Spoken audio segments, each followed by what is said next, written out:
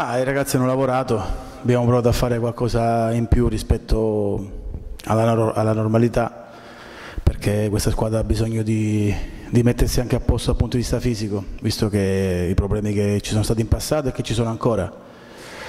Abbiamo giocatori che sono al 50%, giocatori che, che hanno recuperato da poco come Spano, che sarà convocato, non sappiamo ancora quanto tempo c'è nelle gambe, però abbiamo provato a portarci dentro tutti, anche perché abbiamo due assenze come quella del capitano e quella di Olivera.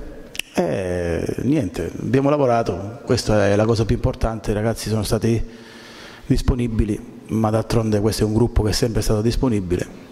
Adesso c'è la partita.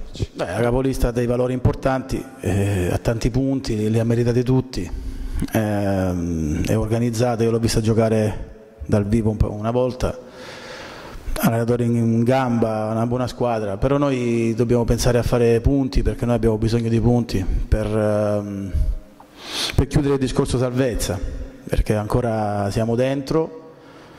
E ehm, paradossalmente eh, io avevo molta paura della partita di, di Troina perché veniva in un momento difficile per la squadra, oggi ho meno paura perché so che la squadra um, mentalmente è pronta per affrontare la prima in classifica, no?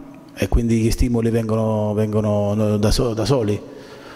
È chiaro che ho molto rispetto per la, per la Gelbison, però in questo momento ho tanto rispetto anche per i miei giocatori. Spero solo che riescano a dare in campo quello che, che vogliono e quello che hanno dentro. Ma chiederò il solito impegno, la benegazione. Ho chiesto delle, a qualcuno di fare un sacrificio in più e i ragazzi sono disponibili a questo. Eh, poi è chiaro che poi c'è il campo che determina tutto, eh, però i ragazzi sono, sono a posto. Ma i tifosi ho poco da dire, quando sono tornato ho chiesto sostegno, ce lo stanno dando il sostegno.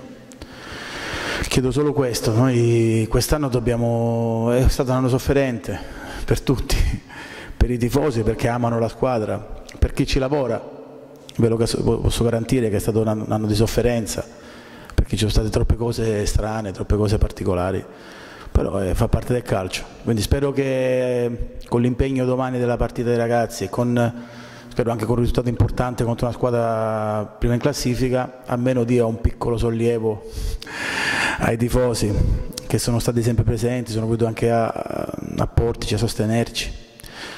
Io mm, ho poco da chiedere, ho solo sostegno e amore verso i colori, perché poi fra 15 giorni finisce il campionato e poi tutto il resto chi vivrà vedrà.